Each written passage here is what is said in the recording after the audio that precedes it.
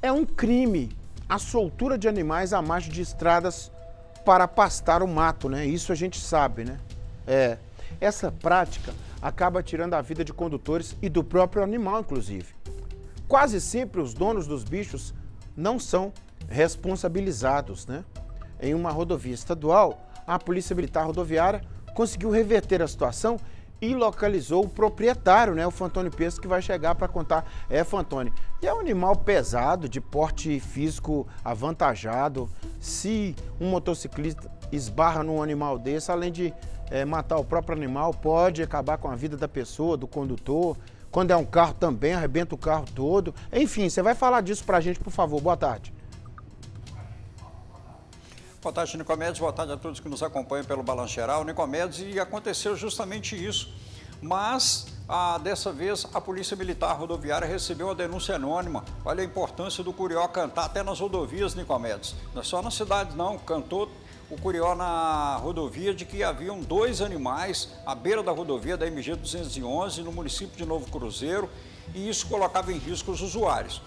Os agentes de trânsito foram até o local, identificaram os dois animais e observaram que não se tratava de um descuido de uma porteira ou que alguém é, arrebentou a cerca. Não, tratava-se de um caso em que a cerca estava rompida já há vários dias as estacas estavam caídas, os arames, então não se tratava de uma situação factual, era uma situação de alguns dias e não foi observada. E aí os dois animais saíram para a rodovia.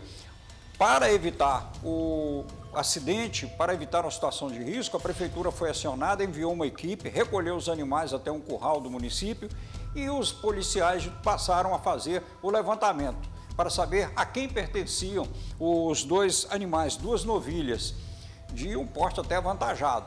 O proprietário foi identificado e foi preso, Nicomedes. Ele foi preso, levado para a delegacia preso por omissão de cautela, trocando em miúdos significa o descuido dele de não proteger, de não cuidar dos animais, deixar a cerca rompida. E aí ele, o vaqueiro, os funcionários dele vão ter que se entender porque que aquela cerca estava rompida já há vários dias e os animais saíram para a pista. Vale ressaltar, agora vamos, Nicomedes, o que você disse. Neste mesmo trecho, nesse mesmo trecho da MG 211, quilômetro 43, nós noticiamos semana, algumas semanas em que um motociclista, ele perdeu a vida, um motociclista de 42 anos, perdeu a vida porque ele bateu contra o animal, possivelmente por conta dessa cerca.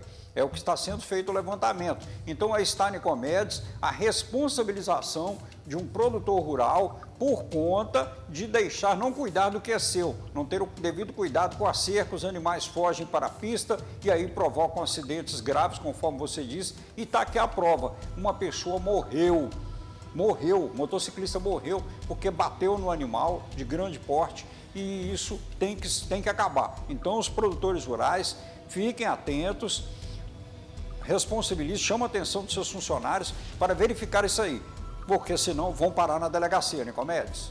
A lei existe, né? A lei existe, né? É, é só enquadrar, né? É, a gente sabe das dificuldades, né? Passa alguém lá, estoura a cerca.